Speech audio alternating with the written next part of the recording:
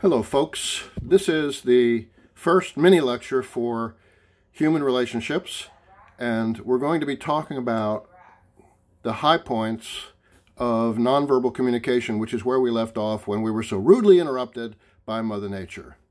So, some of the basics to be reminded of include that uh, nonverbal communication serves a number of important functions, all of which could be traced to evolutionary processes and for purposes of uh, reproduction and getting our genes into the next generation, so matters of survival. But specifically, functions of nonverbal communication include things like expressing emotion, so that on the surface of our bodies, nonverbal signals betray our internal emotional states. Um, the second thing is that they uh, allow us to display our individual personality traits because of all, all of our uh, nonverbal signals are idiosyncratic. They are uh, uh, our own ones that we use more than others, and we inhibit some, and so on. They also are capable, nonverbal signals, of modifying, complementing, or, or complementing or substituting uh, words that we might use. Um, and of course, you may have already figured out that the more vocabulary you have, the likelihood is that you will rely less on nonverbal signals. Yes, that's also true.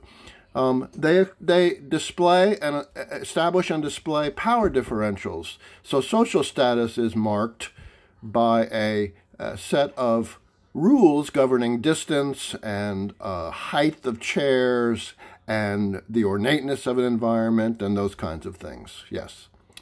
Um, so the next thing is that they define boundaries between us. So they are modifiers of our comfort levels with closeness.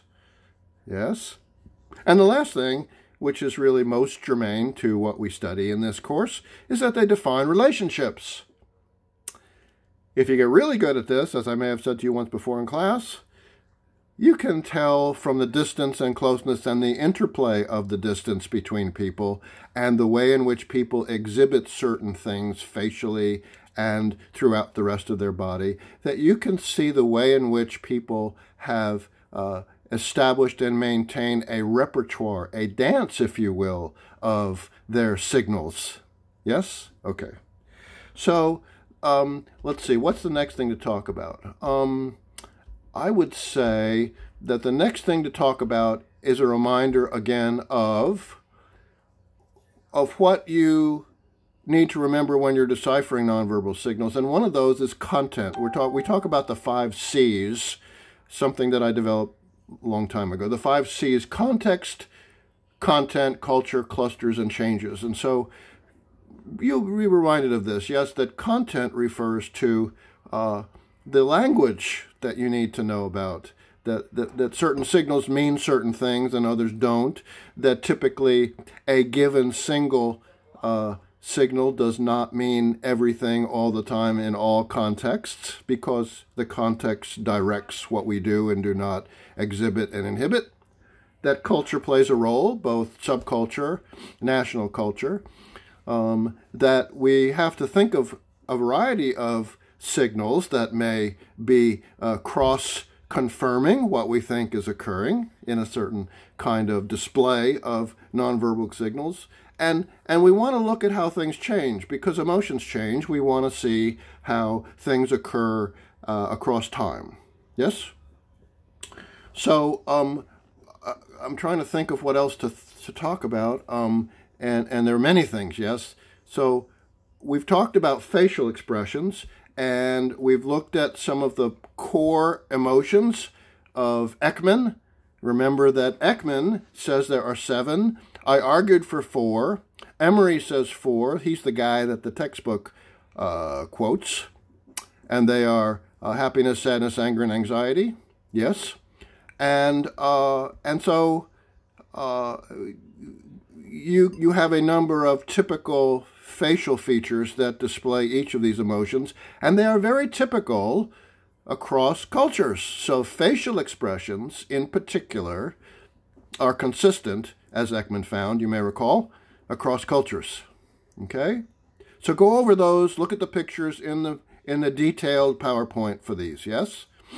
Okay, so the next thing I want to talk about is um, uh, um, some of the ways we display openness versus closed sorts of uh, uh, behaviors. Okay, so openness is hands going from across our bodies or blocking our viscera, which are our most important organs, which we must protect because if they're injured, we might not make it.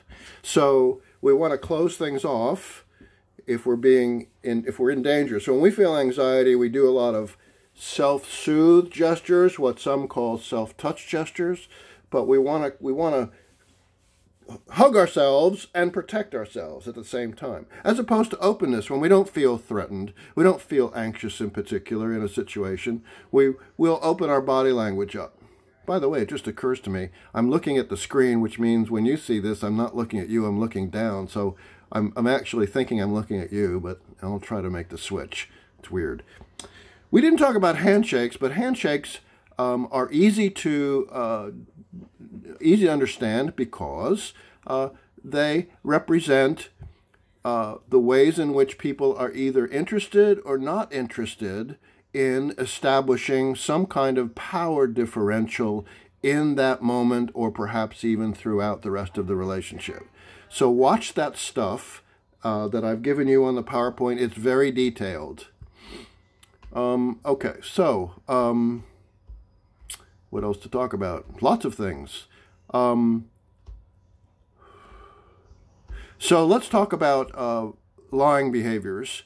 And what I want to tell you about is that the basics of this include that uh, lying behaviors are very difficult to say that one any one behavior says, ah, that's a lie. That's not how it really goes. Most of what people are doing when they're anxious in a moment, say you're asking them questions and you're trying to see whether they're telling the truth or not, is that no one signal is necessarily and often is not enough to confirm that someone's lying. In fact, this requires a cross-confirming sorts of things. And basically what you're getting are what are called hotspots or places where anxiety has gone up by virtue of the of the uh, nonverbals that you're seeing on the face or the body, and then you want to ask more about that to see why is this an anxious issue? Why is the person having anxiety? Okay, so someone could be anxious in general. Someone could be shy. Someone could be protective of another person or themselves, but not really lying. See, so we got to be very careful about that. Again, I provided lots of information on your um, on your uh, PowerPoint, okay? Now, the next thing you talk about is flirtation. So flirtation has to do with uh, uh, some behaviors that are innate and are uh, natural, that are provided by genetics. Others are augmented of the augmenting of those. Others are invented. So I have a complete list of those. And males and females differ a little bit one from the other in that regard. Okay? Basically, the idea is that males will attempt to show that they are bigger and more powerful and muscular and in charge and in control, and females will, on average, attempt to show uh, things such as uh, the opposite of that. Yeah? Uh, and those sorts of things go together. All right. So, uh, I then provide you a long list of photographs, each slide a different photograph or multiple photographs, so that you can see uh, uh, what you what you, what you can in those pictures. Okay, and I I urge you to go through those.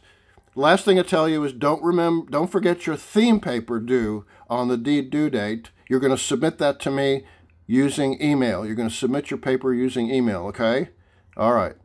All right. Don't forget your discussion paper on emotions. That's in the emotions module. Okay? All right, folks. Bye bye.